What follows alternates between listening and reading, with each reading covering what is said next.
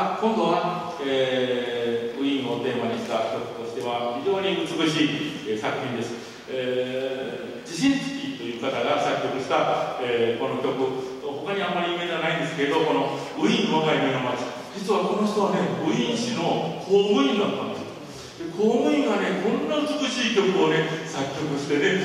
歌ってしまうんですね。えー、それがやっぱり音楽の都なのかなというふうに思います。えー、日本の公務員もそうなってもらいたいなというふうに思うわけでございますが、えー、それでは、ウィーン我が夢の街。